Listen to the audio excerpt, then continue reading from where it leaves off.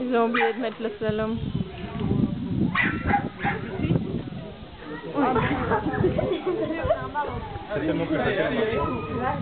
Ouais, maintenant elle a changé de main pour rien.